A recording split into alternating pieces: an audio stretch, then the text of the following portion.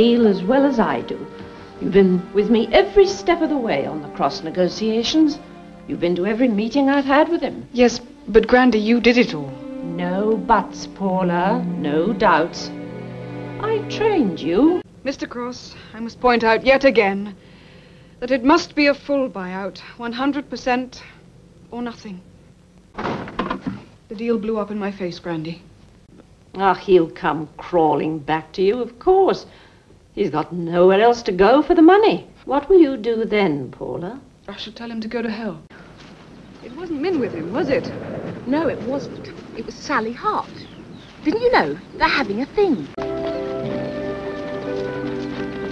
I could never live in a city, Jim.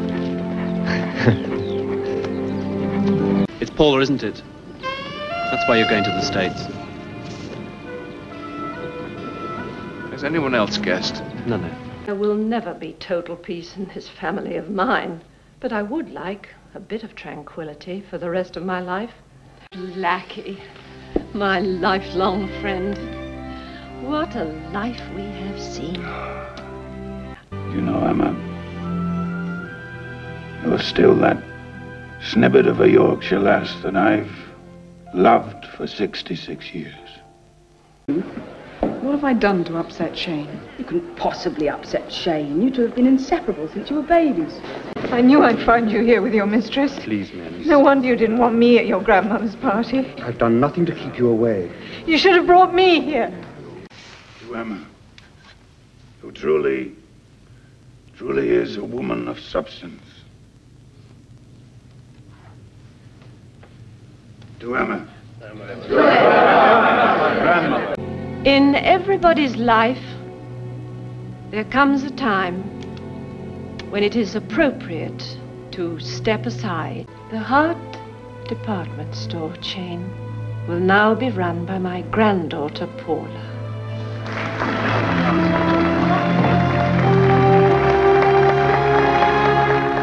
I charge you to hold my dream.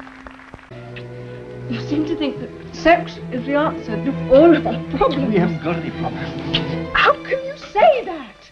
Well, tonight finally proves that you can't make it with me because you're in love with someone else. I was going to ask you to marry me. Oh, Blackie. I lost my nerve.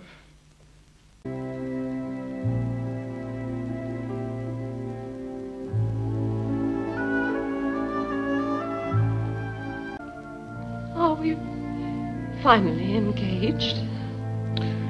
Let's just say we're engaged to be the closest of companions for the rest of our lives. I've always loved you, my darling. And I've always loved you. Goodbye, my dearest friend. The girl I married enjoyed life. But she's turned you into a cold, calculating carbon copy of herself. You've disappeared. Is that why you married me? For the money? The power? To get back what you think is rightfully yours? The Hartes are uh, intimate friends of yours, of course, aren't they? Yes. An attractive girl, Paula. I haven't seen her in several years. What awful thing did I do to you to drive you out of my life? When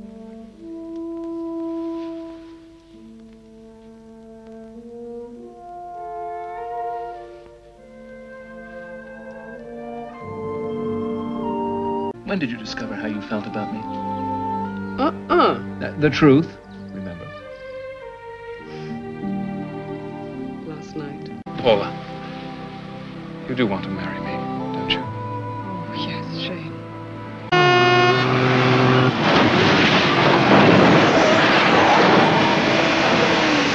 How serious is it, Doctor? There's a fracture of the lumbar spine with probable nerve damage. I won't be able to speak to Jim about the divorce. Not for some months. I know that. But I've, uh, I've waited all these years for you. What's a few months longer? At first, I thought her ladyship's death was an accident. But later, I began to wonder if it wasn't foul play. Certainly not. My wife would not have killed herself, whatever her state of mind. I'm convinced that her death was an accident. She told me several times that she'd nothing to live for and she wished she were dead. Jim, you're on painkillers. Do you really think you ought to be drinking? Don't fuss, darling. Anyway, I'm not on painkillers now, and I prefer this. You didn't tell him about Stonewall Properties. Good heavens, no. That's our secret. Is it asking too much to give a second chance to a Fairley?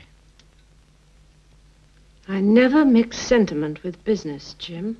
He's only a have He's not good enough for the Hartes. God, you're incredible. And you, Jim, are your own worst enemy. Please, don't fall into the trap of staying together for the sake of the children. She's a wonderfully wise old bird. She told me I'd come back to live in Yorkshire.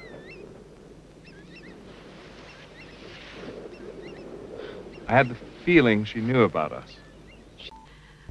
I asked you to hold my dream.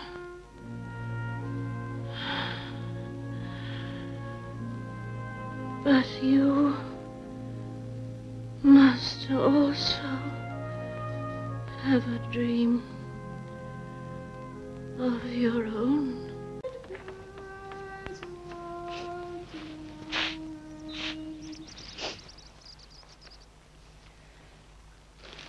Just a minute. I'm going to contest this will. Please be so kind as to sit down, Jonathan. I was left the Park Avenue apartment in the will she drew up last year. Not just a couple of paintings. Jonathan's right. She did come into the house. Shane isn't even family. Why is Easy, he doesn't leave that house. She's got this. Shut up, all of you! Just shut up! She's only been dead for a few days and you're behaving like vultures. You have to catch him red-handed. Set a trap for him. Jim, I want a divorce. Well, I don't. And I'm never going to agree to one. Now, Jonathan, anything new to report? No, the property market's very quiet at the moment. Even Stonewall? Stonewall. All is owned by you and Sebastian Cross. And Sarah has invested a great deal of money in it. What's wrong with investing money in Stonewall? Shut up, Sarah. You're fired. Oh, you can't fire me. I'm a shareholder in this company and I have a right. As managing director, I have extraordinary powers. I can do practically anything I want.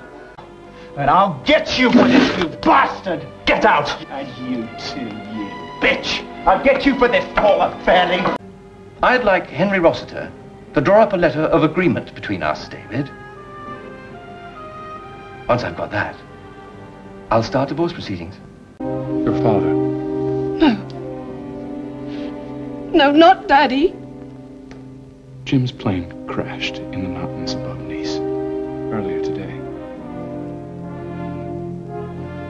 Jim was killed too. You were about to divorce Jim. You can't let his death come between us.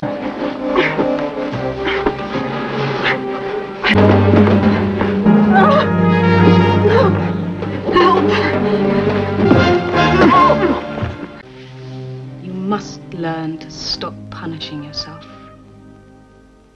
That's what Shane said to me. He was right. I want to spend the rest of my life with you, Shane.